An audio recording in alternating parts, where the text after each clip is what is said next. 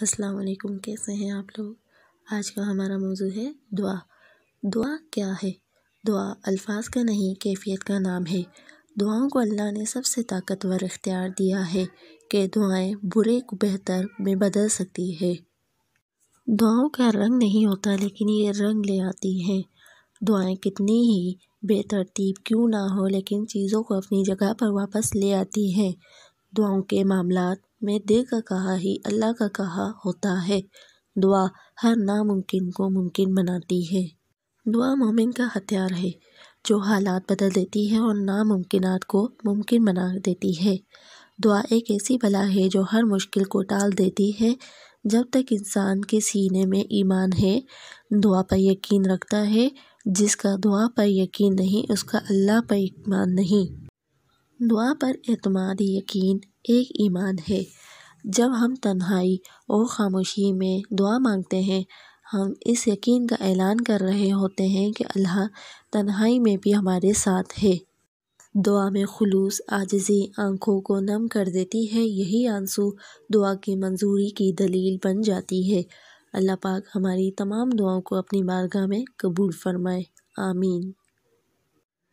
हमारा मांगना अल्लाह को पसंद है। दुआओं की बरकत से किसी मुसलमान को इनकार नहीं। अल्लाह ताला अपने बंदों को बग़ैर मांगे भी नवाजता है और इसका मांगना भी पसंद फरमाता है। इरशाद बारी ताला है, तुम मुझे पुकारो, मैं तुम्हारी दुआएँ कबूल फरमाऊँगा। रसूलुल्लाह सल्लल्लाहु अलैहि वसल्लम ने फरमाया, अल्लाह के नज़दीक दुआ से ज़्यादा इज़्ज़त व इकराम वाली चीज़ और कोई नहीं है। खुशी और गमी दोनों में मांगे। नबी करीम सल्लल्लाहु अलैहि वसल्लम ने फरमाया, जो शख्स ये पसंद करता है कि मसाइब और तकलीफ़ के वक्त इसकी दुआएँ कबूल हों तो इसे चाहिए कि खुशी के ज़माने में ज़्यादा से ज़्यादा दुआ माँगता रहे। सिर्फ़ अल्लाह से मांगे, इसी को पुकारना बरहक है और ये लोग इसको छोड़कर जिन हस्तियों को पुकारते हैं वो उनकी दुआओं का कोई जवाब नहीं दे सकते।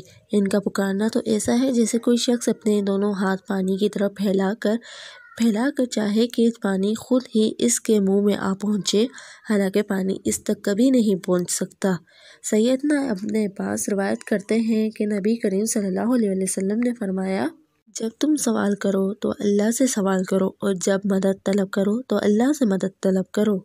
नबी करीम सल्लल्लाहु अलैहि वसल्लम ने फरमाया, जब मुसलमान दुआ करता है, जिसमें कोई गुनाह की बात नहीं होती और ना कत रहमी की बात होती है तो अल्लाह ताला ऐसी दुआ को ज़रूर कबूल फरमाते हैं।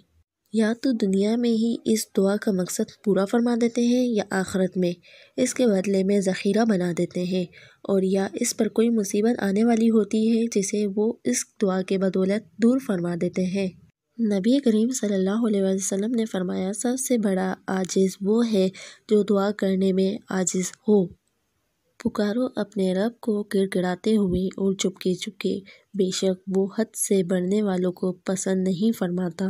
नबी करीम सल्लल्लाहु अलैहि वसल्लम ने फरमाया, पस्त आवाज़ से अल्लाह को पुकारो, तुम किसी बहरे या गायब हस्ती को नहीं पुकार रहे हो, बल्कि तुम इस, तुम एक समय और बसीर ज़ात को पुकार रहे हो।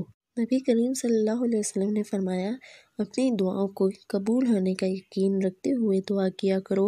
अल्लाह ताला गाफिल और लापरवाह दिल की दुआ कबूल नहीं फरमाते। रसोल्ला सल्लल्लाहु अलैहि वसल्लम ने फरमाया, तुम में से हर किसी की दुआ तब कबूल होती है जब तक वो जल्दी ना मचाए। यूँ ना कहे, मैंने दुआ की लेकिन कबूल नहीं हुई। नबी सल्लल्लाहु अलैहि वसल्लम ने फरमाया, अल्लाह ताला हयादार और सखी है। जब कोई बंदा अपने दोनों हाथ इसके सामने फैलाता है तो नाकाम और खाली हाथ लौटाने में से शर्म आती है।